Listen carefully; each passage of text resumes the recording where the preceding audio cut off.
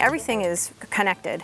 And so everything has a value. And that's what ecological economics tries to do, really. It's trying to put value on all of these things within a system, whether it's the value of the crop or the value of the water or the value of the soil.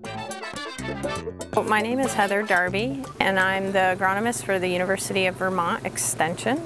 And UVM Extension is the outreach and education arm of the university. I work with less traditional students, I guess. So my students here in the state of Vermont are farmers. I would say it's getting harder and harder to dairy farm in the state and in any state. It's, it's the same way everywhere. Sometimes we're only putting a value on a commodity such as milk, and we're not putting a value on all the things that producing milk um, has an impact on. When a farmer produces milk, they have someone that's helping them. That person is taking their paycheck and spending that within the community. That farmer's producing cow manure that then is brought back out into the land and is feeding the life in the soil and keeping the soil healthy. So it's keeping the environment healthy and contributing back to the natural resources. There's no monetary value put on that and a farmer is not paid for that.